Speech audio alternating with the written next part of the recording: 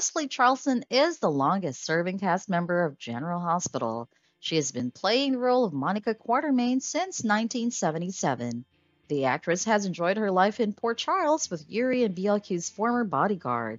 Leslie celebrated her 77th birthday on February 22, 2022. Leslie was born in Kansas City, Missouri on February 22, 1945. Charleson started her career in acting in 1964. She debuted on the short-lived Flame in the Wind on ABC. Plus, she was a series regular on the CBS soap Love is a Many Splendored Thing. Throughout the career, she has worked on several projects. She's also known for playing the role of Alice Whipple on As the World Turns. Leslie has been nominated for four Daytime Emmy Awards for her work on General Hospital. She debuted as Monica Quartermaine in August 1977. She was friends with Jane Elliott before their cast on General Hospital. The actress has been working on GH for over 44 years. Charleson is a huge fan of Elvis Presley.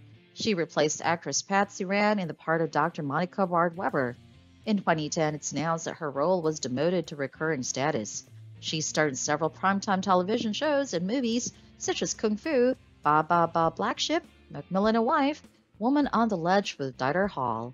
She married Bill Demms in 1988, but her marriage lasted till 1991. There's no further information about her dating life. The actress is living her life her way.